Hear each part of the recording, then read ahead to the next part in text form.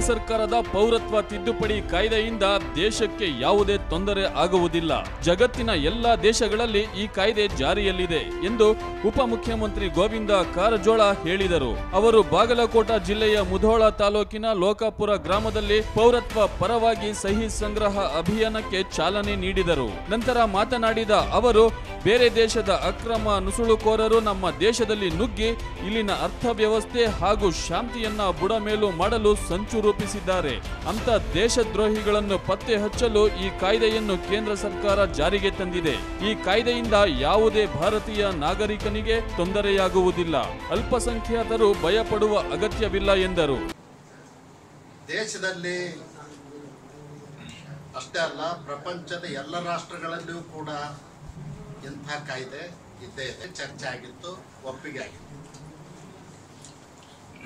ಅದನ್ನ ಇವತ್ತು ತಿದ್ದುಪಡಿ ತರುವುದರ ಮೂಲಕ ಯಾರು ಈ ದೇಶದ ಪ್ರಜೆಗಳಲ್ವೋ, ಯಾರು ಅನಧಿಕೃತವಾಗಿ ದೇಶದೊಳಗೆ ನುಗ್ಗಿ ದೇಶದ ಆರ್ಥಿಕ ವ್ಯವಸ್ಥೆಯನ್ನು ಹಾಳು ಮಾಡ್ತಕ್ಕಂಥದ್ದು ಮತ್ತು ದೇಶದಲ್ಲಿ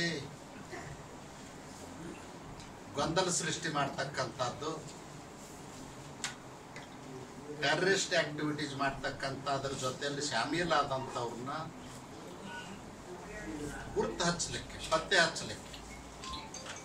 ಅನಧಿಕೃತ ವಾಸವಾಗಿದ್ದವ್ರನ್ನ ಪತ್ತೆ ಹಚ್ಚಲಿಕ್ಕೆ ಪೌರತ್ವ ಕಾಯ್ದೆ ತಿದ್ದುಪಡಿ ಬಂದು ಅದರ ಸರ್ವೆ ಆಗ್ತಕ್ಕಂಥ ನಂತರ ಎಸ್ಎಂ ಹೊರಟ್ಟಿ ಸಂಪಾದಕತ್ವದ ಬಾಗಲಕೋಟ ವಾರ್ತಾಪತ್ರಿಕೆಯ ಹೊಸ ವರ್ಷದ ಕ್ಯಾಲೆಂಡರ್ ಅನ್ನು ಗೋವಿಂದ ಕಾರಜೋಳ ಬಿಡುಗಡೆ ಮಾಡಿದರು. ತಾಲೂಕು ಬಿಜೆಪಿ ಅಧ್ಯಕ್ಷ ಕೆಆರ್ ಮಾಚಪ್ಪನವರು ರನ್ನ ಸಕ್ಕರೆ ಕಾರ್ಖಾನೆ ಅಧ್ಯಕ್ಷ ರಾಮಣ್ಣ ತಲೆವಾಡ, ಪ್ರಧಾನ ಕಾರ್ಯದರ್ಶಿ ಕುಮಾರ ಹುಲಕುಂದ, ಲೋಕಣ್ಣ ಕತ್ತಿ, ಹನುಮಂತ ತುಳಸಿಗೇರಿ, ಎಂಎಂ ಶಿರಕ್ಕಮಠ ಯಮನಪ್ಪ ಹೊರಟ್ಟಿ ಬಿಎಲ್ ಬಬಲಾದಿ ಸೇರಿ ಅನೇಕರು ಭಾಗಿಯಾಗಿದ್ದರು.